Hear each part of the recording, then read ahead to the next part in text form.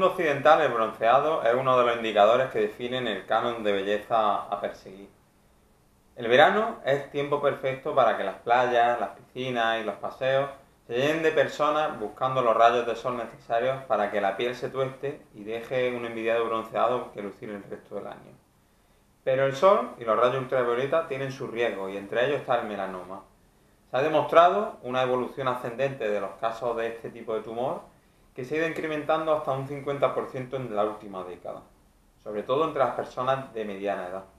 Hay que extremar la protección entre nuestros pequeños, ya que la piel tiene memoria y quemaduras e insolaciones a estas edades pueden tener su repercusión años atrás. Bien, ¿debemos asumir por lo tanto el alto precio de un bronceado o tenemos que intentar encontrar el equilibrio entre los efectos positivos y nocivos de la luz solar?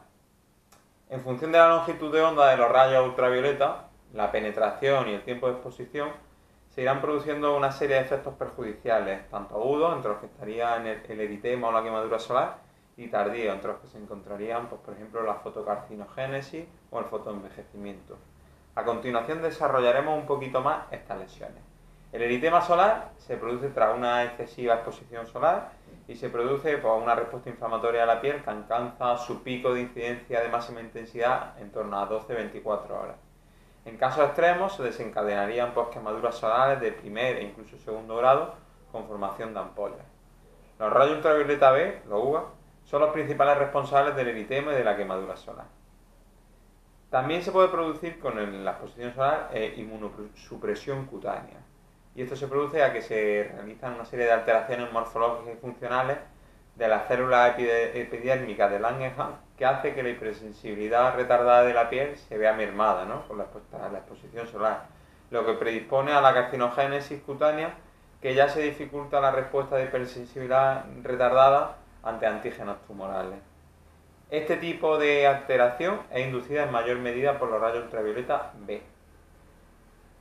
por tanto, la fotodermatosis es otra patología que se puede producir con la exposición solar y engloba el conjunto de enfermedades cutáneas pues, que se producen a raíz de la exposición. Sobre todo a partir de los rayos ultravioleta, entre los que se incluirían pues, fotodermatosis idiopática, dermatosis avanzadas por la luz, como el acné, el eritema multiforme, el herpes simple, la rosácea, también fotodermatosis debido a fármacos como la miodarona o la furosemida o ciertos antibióticos y a metabolismo endógeno. Si seguimos exponiéndonos recurrentemente a la exposición solar, se produce un fotoenvejecimiento que se caracteriza porque la piel se vuelve áspera, seca, apergaminada, con arrugas y se produce una alteración de la pigmentación que aparece, como hemos dicho, por la consecuencia de exposiciones repetidas, sobre todo de los rayos ultravioleta A.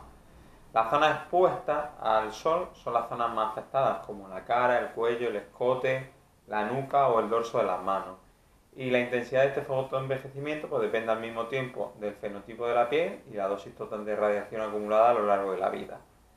Y por último también está descrito y está demostrado que con la luz solar se produce una fotocarcinogénesis, que sería la inducción de, de ciertas lesiones precancerosas y carcinomas de la piel.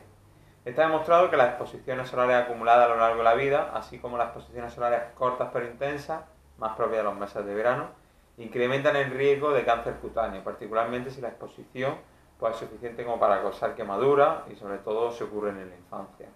Los rayos B inducen de manera crónica alteraciones estructurales del ADN de los queratocitos y los melanocitos que no pueden repararse por completo ante el daño solar, a lo que habría que unir la inmunosupresión que se comentó antes. Por lo tanto, volver a indicar, a indagar y a recalcar que las exposiciones solares acumuladas a lo largo de la vida, así como las exposiciones solares cortas pero intensas, incrementan el riesgo de cáncer cutáneo. Hay que tenerlo muy en mente, particularmente si la exposición eh, causa una quemadura solar y sobre todo si ocurre en la infancia. Y es que la infancia y la adolescencia parece ser el mejor predictor del riesgo de desarrollar tumores en la piel. Por lo tanto, hay que extremar a todas las edades, pero sobre todo a estas edades, los, cuidados en torno al sol. No todas las personas toleramos igual los efectos de la radiación ultravioleta, ya que existe una enorme variabilidad individual según el fenotipo de la piel que determina la resistencia de las personas al sol.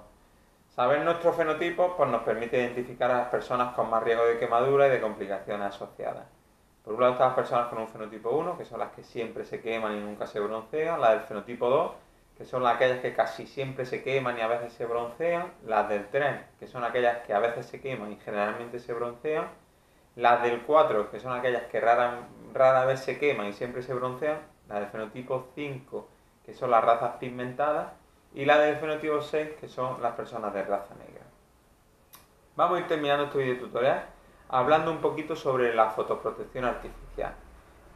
Eh, hay varios tipos de protectores, químicos, físicos, según el efecto, según la composición, pero lo que más nos interesa es el factor de protección solar que tiene estos esta fotoprotección artificial, que sería el índice que mide la capacidad protectora del filtro. El filtro ideal sería aquel pues, que hiciera frente a los siguientes ítems.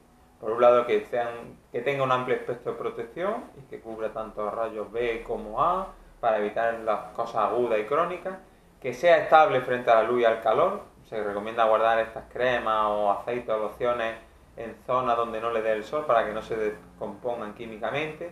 También que, sean, que tengan una buena adherencia y resistencia tanto al agua, al sudor como al roce, que no irriten, que no manchen la piel y que cosméticamente sean aceptables, que no sean dejen una mancha, una capa blanca impregnada.